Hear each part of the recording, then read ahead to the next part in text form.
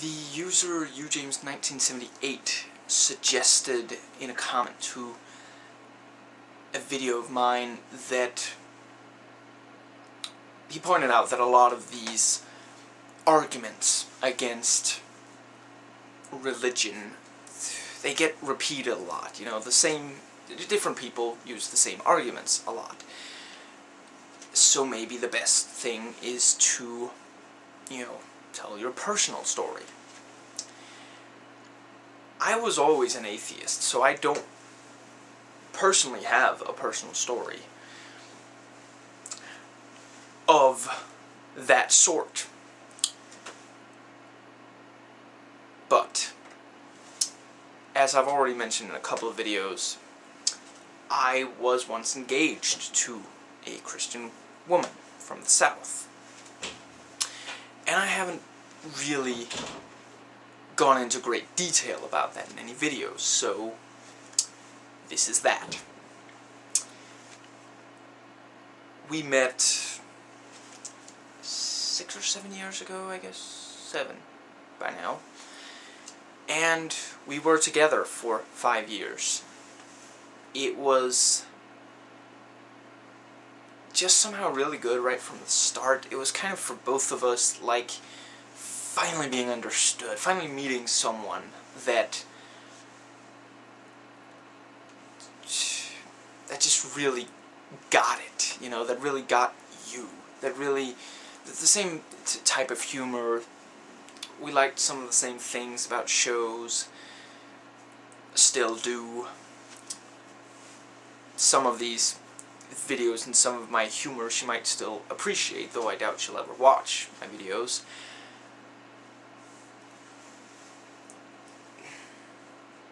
I know everyone says that about their first love, says this about their first love, but it was just so big, so so epic, you know, the the kind of neither of us were really romantics. Neither of us had really expected for someone to, you know, just for it to seem so perfect with another human being and I mean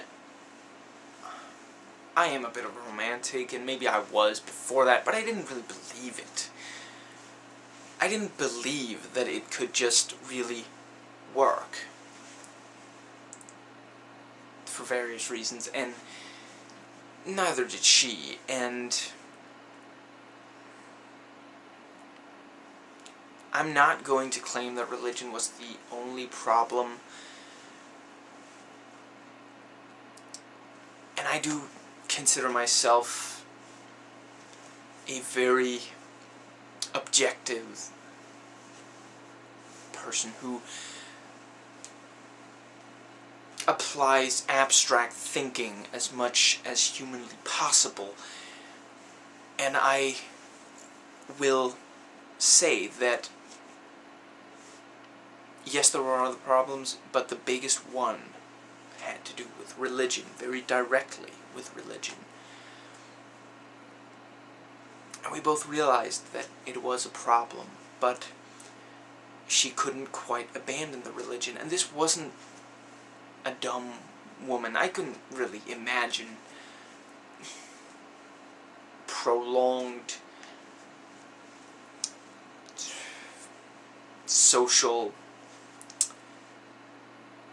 I, I, I don't think that I could actually enjoy being with a woman or a girl for a really long time and really feel fulfilled if she wasn't smart. She was, she is. Though I don't have any contact with her anymore. She, very smart person. She we, we had some really good debates and she made points that even I hadn't really mostly in subjects that I hadn't already really thought about but we challenged each other we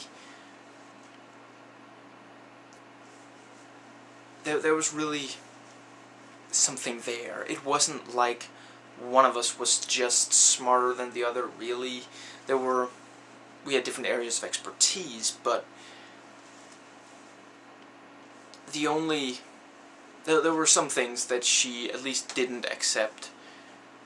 I don't know if she does today, but she wasn't, she wasn't ignorant. That wasn't, she, she had just always been raised with religion, with Christianity, and she had a lot of problems with Christianity. She made really good points against it, and she didn't agree with, she didn't blindly accept, there were, there were a lot of things, at least, that she didn't blindly accept about Christianity and the Bible. But she still couldn't let it go. She, she could not, I mean, I wasn't asking her to give up religion. I knew right off the bat that she was religious, and she knew right off the bat that I was an atheist but she couldn't she couldn't compel herself to make the changes that were necessary for the relationship to work. I don't really want to go into the details, but it just, it was a problem, it was related to religion, and we both knew it, we both realized that there was a problem there. And no, it wasn't the only problem, but I think that the rest could have worked out. It was it was this one deal breaker that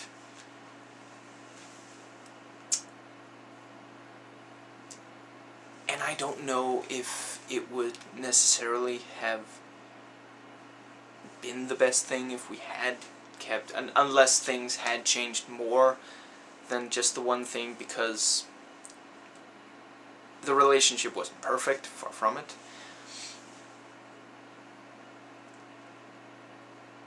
But if that one problem, if she had been able to go against her religion in that one area, I could imagine we'd still be together today and